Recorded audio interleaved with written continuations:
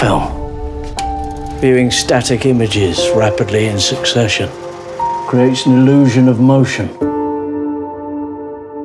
illusion of life. There is something undeniable about film that has a magic to it. The feeling of film being projected, the slight flicker, the softness of the image, that is something beautiful.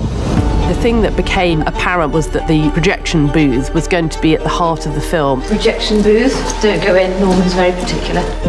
And that's a really beautiful room. It's like a extraordinary little cave. And we wanted to get the technology from the 80s spot on. Amazing. There are so many sprockets and wheels and cogs. Projecting a film was unbelievably complicated.